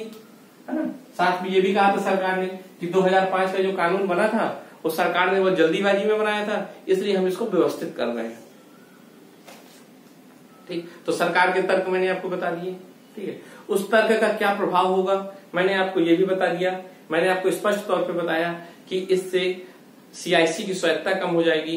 जब उसकी ऑटोनोमस मतलब ऑटोनॉमी कम होगी तो सरकार की चापलूसी करे कि सही से काम करे। मैंने एक उदाहरण के तौर पे भी आपको बताया, है अब मान, चलिए। जैसे आपको मैं एक उदाहरण दू कैग कैग क्यों अच्छा काम करता है? अब ये बताइए कि जब 2011-12 में कॉमनवेल्थ घोटाला हुआ तो उस समय सरकार किसकी थी? उन्हीं की थी, लेकिन उन्हीं के खिलाफ घोटाले का उजागर किया। क्यों? क्योंकि जो कैग के को हटा नहीं पाते, है ना? क्योंकि ये क्या था? ये स्वायत्त था, है ना? क्योंकि संविधान ने इसको क्या दिया? संरक्षण दिया। तभी तो ये सरकार के खिलाफ बोल गए। समझ में आ रहा है ना आपको? स्वायत्ता का क्या मतलब है? तो चलिए यहाँ समझिएगा कि एक स्वायत्त संस्था ही अच्छा काम कर पाएगी। तो इस तरह ये मैंने आपको बता दिया कि आरटीआई का करंट जितना भी था, ठीक। अब चलते हैं आरटीआई का क्या महत्व है पॉजिटिव क्या क्या इसका रोल है। तो सबसे पहले क्या किया इसने? सबसे पहले इसने किया नागरिक को सशक्त। ये इसकी सबसे बड़ी बात है। इसने नागरिक को बहुत मज़बूत बनाया। बात समझ रही मैं आपको कुछ पॉइंट बता रहा हूँ, आप उन पॉइंटों को समझ लीजिएगा और उसको अपने हिसाब से जैसे भी आपको यूज़ करना इसने सबसे अच्छा सबसे पहले नागरिक को सशक्त किया। अगर मैं कहूँ कि ठीक है, इसने पारदर्शिता को बढ़ाया। तो आप तो जानते ही हैं कि सूचना का प्रवाह मतलब पारदर्शिता, है ना? इसने जवाबदेहिता को बढ़ाया। ये भी आप समझते हो कि इसने जवाबदेहिता को बढ़ाया सबसे बड़ी बात इसने नागरिक सशक्त किया, देखिएगा। और नागरिक सशक्त मतलब लोकतंत्र मज़बूत। तो आप कह सकते हो कि इसने लोकतंत्र में सकारात्मक परिवर्तन किया। आप कह सकते हो, जितना नागरिक सशक्त होगा, लोकतंत्र उतना अच्छा होगा। तो आप कह सकते हो कि इसने क्या किया? इसने लोकतंत्र को मज़बूत किया। एक और आप बात समझ सकते हो ठीक है, कि इसने क्या किया? इसने एक बोलते हैं पार्टिसिपेटरी डेमोक्रेसी पार्टिसिपेटरी डेमोक्रेसी है ना? सहभागी लोकतंत्र।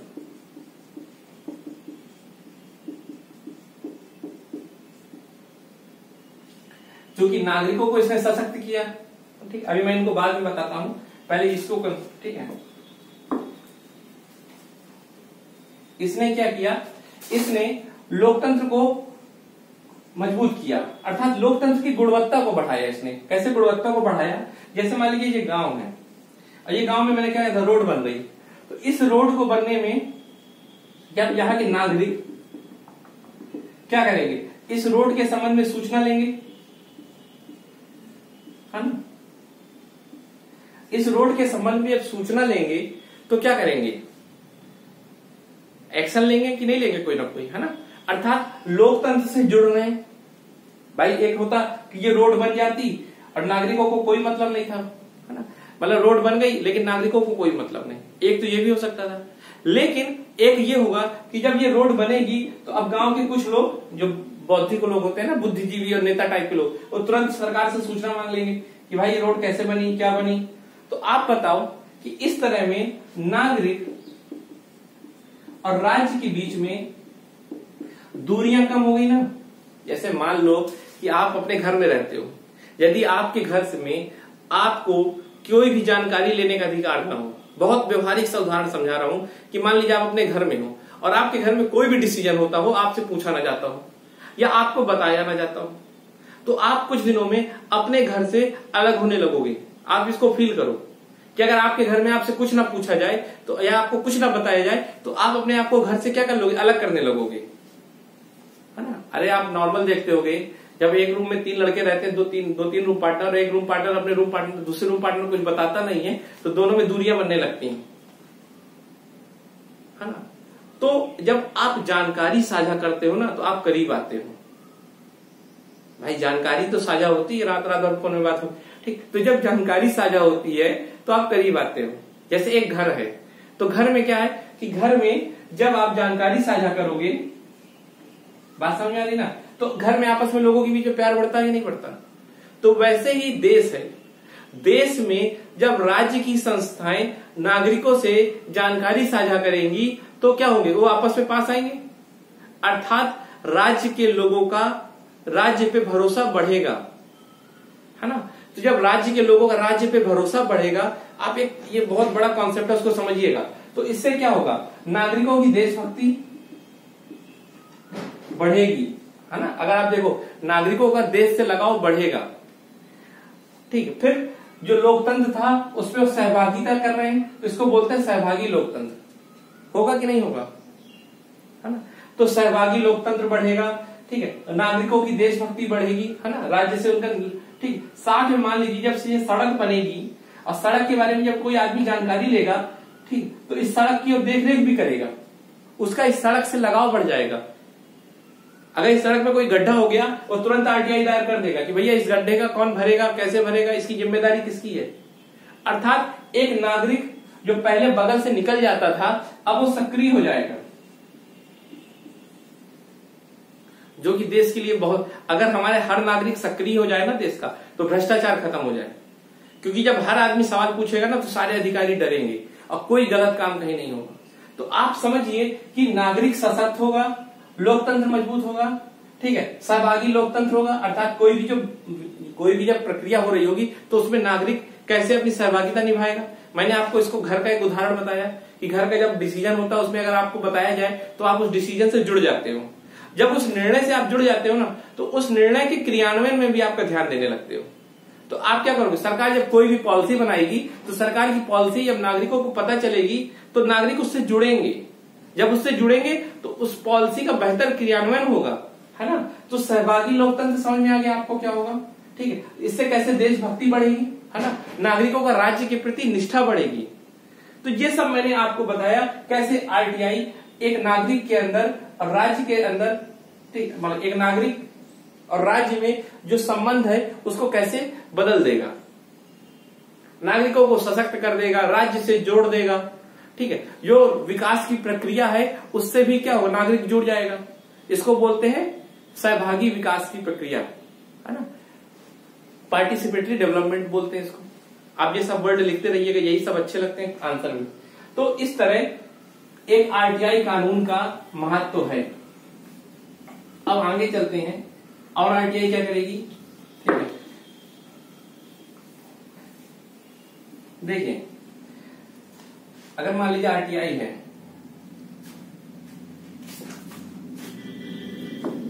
मान लीजिए आरटीआई कानून है। ठीक अब आरटीआई कानून से सूचना होगा। जब भी कोई सूचना होगी तो फिर पारदर्शिता होगी। है ना? जब पारदर्शिता होगी तो फिर भ्रष्टाचार नहीं होगा।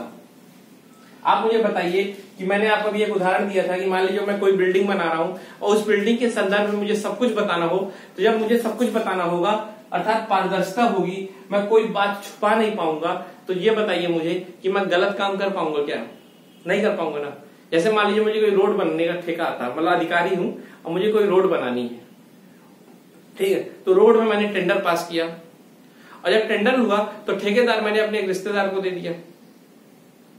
भ्रष्टाचार किया मैंने। लेकिन जब मुझसे सवाल पूछा गया कि आपने ठेका उसी को क्यों दिया? क्योंकि मैंने गलत काम किया तो मैं इसका सही जवाब दे नहीं पाऊँगा और मैं फंस जाऊँगा। तो मेरे ऊपर एक हमेशा दबाव रहेगा, है ना? ठीक तो जब दबाव रहेगा तो मैं गलत काम नहीं कर पाऊँगा। तो आप कह सकते हो कि आरटीआई से सूचना मिलती है, जो पारदर्शिता का आधार होती है ट्रांसपेरेंसी की, जिसके कारण भ्रष्टाचार रुकेगा। तो आप कह सकते हो कि आरटीआई से भ्रष्टाचार कम होगा। फिर आरटीआई से, ठीक है, क्या होगा? हर अधिकारी में दबाव होगा। तो क्या होगा? जवाबदेहिता। जवाबदेहिता है ना अकाउंटेबिलिटी अकाउंटेबिलिटी आरटीआई से अकाउंटेबिलिटी बढ़ेगी अकाउंटेबिलिटी मतलब क्या होता है? मैं कोई भी निर्णय लूँ तो मुझे उस निर्णय के संबंध में जवाब देना होगा। जैसे मैंने अभी आपको एक टेंडर बताया कि टेंडर मैंने दिया तो मुझे जवाब देना होगा कि मैंने ये टेंडर इसी आदमी को क्यों दिया। यदि मैं किसी की भी भर्ती करूँगा तो मुझे जवाब देना पड़ेगा कि मैंने ये भर्ती में इसी को क्यों शामिल किया। या मैं कोई सामान खरीदू, मान लीजिए मान लीजिए मैं एक विभाग है मेरा ठीक है, स्वास्थ्य विभाग।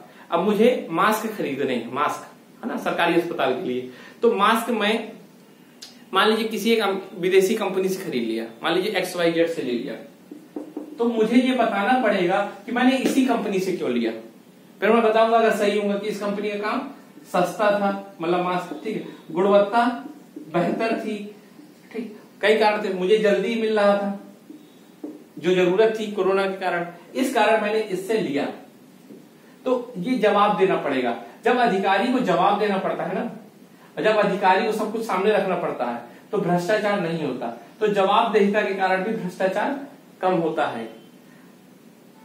आरटीआई के पहले का जो माहौल था, उसमें अधिकारियों को हर बात छुपाने की आदत होती थी, है ना? उस समय कहा जाता था कि गोपनीयता, नियम था और पारदर्शिता अपवाद। 2005 के बाद क्या हुआ? पारदर्शिता नियम हो गया, गोपनीयता, अपवाद। तो इस तरह से आप कह सकते हो कि आरटीआई ने जवाबदेहिता और पारदर्शिता के माध्यम से भ्रष्टाचार को खत्म किया और अपने गवर्नेंस को गुड गवर्नेंस में बदला। ठीक है? सुशासन। इस तरह आप समझ सकते हो कि आरटीआई ने क्या रोल किया। अब आरटीआई को आप कैसे और क्या क्या देखिए आरटीआई के कारण ही आज, ठीक है? आरटीआई के कारण और समझ लीजिए आप, पर्यावरण को लेकर भी सकारात्मक प्रभाव देखने को मिली। जैसे मान लीजिए एक योजना है, ठीक है? जैसे मान लीजिए एक रोड बनाना है जंगल से जैसे मान लीजिए एक रोड बनाना है जंगल के बीच से। यदि मैं आरटीआई दायर कर दू वन विभाग को कि इस रोड के कारण कितना, इस रोड के कारण कितना वन को नुकसान हो रहा है, मुझे बताइए। जब वन अधिकारी को सब बताना पड़ेगा, ठीक है? अब मैं यही सेम जो सड़क बनाने वाला विभाग, उससे पूछ लू, फिर मैं जाके कोर्ट चला जाऊँ। या मैं जनता के सामने लोगों को रख दूँगी देखिए, इस रोड का कितना पर्यावरण पे गलत प्रभाव पड़ रहा है। समझ? जैसे मुंबई में कितने पेड़ काटे जाने हैं, किसी ने आरटीआई से मांग लिया। तो क्या हुआ? पूरा सबको सबकी जब मन में सूचना आई तो सब जागरूक हो गए, है ना? और जागरूक होने के बाद आपने देखा ही होगा कैसे पर्यावरण को लेकर? तो जब तक आपके पास जानकारी नहीं होगी तो आप कमज़ोर हो। ये बात तो आप क्लियर हो ना, कि जानकारी ही आपको मज़बूत बनाती है। है ना? मालूम चल जाए, कहीं आपको पता हो जाए, कहीं गलत हो रहा है जैसे तो आप मज़बूत, वहाँ की आपको जानकारी मिल गई तो आप आवाज़ उठाओगे ना। तो पर्यावरण संबंधित जानकारी पहले कोई नहीं देता था। लेकिन आरटीआई के आने के बाद आप देखिए कि इस मामले में भी लोगों में जागरूकता आई है। अब हम हर योजना, हर नीति का पर्यावरण में क्या प्रभाव पड़ रहा है, इसको जान सकते हैं। तो आप आरटीआई को किससे जोड़ सकते हो? आरटीआई को आप जोड़ सकते हो पर्यावरण से। आरटीआई को आप जोड़ सकते हो डेमोक्रेसी से, है ना? आरटीआई को आप जोड़ सकते हो, कैसे ये इकोनॉमी में परिवर्तन करेगा? मैंने क्या कहा था? गवर्नेंस अच्छी होगी तो आपके देश में लोग पैसा लगाएँगे। मैंने पहले एग्ज़ाम्पल दिया था। जितना अच्छा गवर्नेंस होगी, उतना ज़्यादा आपके यहाँ लोग बिज़नेस करने आएँगे। जितना ज़्यादा बिज़नेस होगा, आपके यहाँ उतना रोज़गार होगा, उतनी आपकी जीडीपी बढ़ेगी। तो आप आरटीआई को जीडीपी से भी जोड़ सकते हो। आरटीआई को जीडीपी है ना? क्योंकि आरटीआई से क्या हुआ? गवर्नेंस अच्छा हुआ। गवर्नेंस अच्छा होगा, अर्थात आपके यहाँ काम करना आसान होगा। तो आपके यहाँ लोग काम करना अच्छा करेंगे, निवेश ज़्यादा होगा। निवेश ज़्यादा होगा तो वस्तु एवं सेवाओं का उत्पादन ज़्यादा होगा तो जीडीपी बढ़ेगी। आप इसको भी आपस में जोड़ सकते हैं। प्लस मैंने बताया था कि कैसे इसमें लोगों की राज्य के प्रति निष्ठा बढ़ जाएगी, है ना? साथ में आरटीआई का चुनाव को भी बहुत सुधारेगा। इसको भी आपको देखिए कैसे आरटीआई से द्वारा, ठीक है, चुनाव प्रक्रिया में सुधार होगा। अब आरटीआई और चुनाव। अच्छा ये बताइए चुनाव क्या होता है? मतदान? है ना? जब वोट देना होता है? एक आदमी वोट कब अच्छी तरह से दे पाएगा? जब उसको सूचना होगी। है ना? मान लीजिए कि मुझे सूचना है कि मेरे यहाँ का जो विधायक है, मैं आरटीआई से पूछ लू कि इस विधायक ने पाँच साल में क्या क्या काम किया है? है ना? ये सूचना मान लीजिए मैंने मांग ली। कि इस पाँच साल में इसने अपनी निधि का, जो सांसद निधि है, सांसद निधि को कहाँ कहाँ खर्च किया है? अब मुझे जब ये जानकारी मिल जाएगी तो मैं समझ जाऊँगा, ये सांसद अच्छा है कि बुरा है? है ना? ये सांसद अच्छा है कि बुरा है? इस कारण मेरा मतदान क्या हो जाएगा? बेहतर होगा। मेरा मतदान एविडेंस पे आधारित होगा। सबूत। ना कि क्या अफवाह के आधार पे। तो जब मेरा मतदान अच्छा होगा तो मेरा चुनाव भी अच्छा होगा। बात समझ आ रही? आपको जितनी ज़्यादा सूचनाएँ होंगी, आप उतने अच्छे तरीके से किसी भी प्रतिनिधि के बारे में सोच पाएँगे। ना? यही हुआ था। सुप्रीम कोर्ट ने पीयूसीएल वर्सेस, ठीक है, यूनियन ऑफ़ इंडिया के बारे में ये केस था 2003 में। ठीक है? कहा था कि सारे सांसदों को और विधायकों को, जो भी प्रतिनिधि है चुनाव में खड़े हो रहे हैं, उनको अपने बारे में संपूर्ण जानकारी देनी होगी। राइट टू नो सारे अधिकारों को बता, अपने सॉरी सारी संपत्ति के बारे में बताना पड़ेगा, सारी डिग्री के बारे में बताना पड़ेगा। अगर आप सांसदीय विधायकी का चुनाव लड़ रहे हैं ना तो आपका जीवन पर्सनल नहीं है। अब आप सारी जानकारी दो कि आप कहाँ तक पढ़े हो, आपके पास कितनी संपत्ति है। आप देखते हो चुनाव के समय लिख के आने लगता है। कि सांसद के पास एक फोर व्हीलर, दो घर, ये, उसकी बीबी के पास, ये ये ये, उसके पास इतना कर्जा, इतना पैसा। तो क्या है? ये आपको सूचना दे रहा है। अब आप उस सूचना के आधार पे अपना मत डिसाइड करो। और जितना अच्छा मत होगा, उतना अच्छा चुनाव होगा। तो चुनाव दो तरह से अच्छे होते हैं। एक तो चुनाव की होती है मात्रा, और एक होती है गुणवत्ता।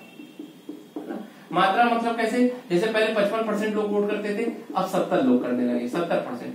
तो ये चुनाव में मात्रात्मक वृद्धि हुई है। लेकिन मान लो, पहले चुनाव में जो होता था, जाति के आधार पर वोट होता था। लेकिन अब चुनाव में विकास के आधार पर वोट हो रहा है। तो ये चुनाव की क्वालिटी अच्छी हो रही है। तो इस तरह कह सकते हैं कि चुनाव में सुधार होगा। और चुनाव में सुधार होगा तो लोकतंत्र में सुधार होगा। तो फिर आप लोकतंत्र से जोड़ सकते हैं। इस तरह से मैंने आपको आरटीआई का फ़ायदा बताया। मैं उम्मीद करता हूँ कि आप मुझे कमेंट के माध्यम से बताएँगे कि आरटीआई से और क्या क्या फ़ायदा होगा। ठीक है। आज की वीडियो में इतना ही। नेक्स्ट वीडियो में हम लोग बात करेंगे आरटीआई की क्या कमियाँ हैं, सुझाव व उससे संबंधित मुद्दे। आपको कोई भी सवाल पूछना हो या कोई भी बात बतानी हो तो आप मेरे टेलीग्राम के ग्रुप से जुड़ के मुझे सूचना दे सकते हो या मेरे फेसबुक या मेल में मैसेज कर सकते हो। धन्यवाद।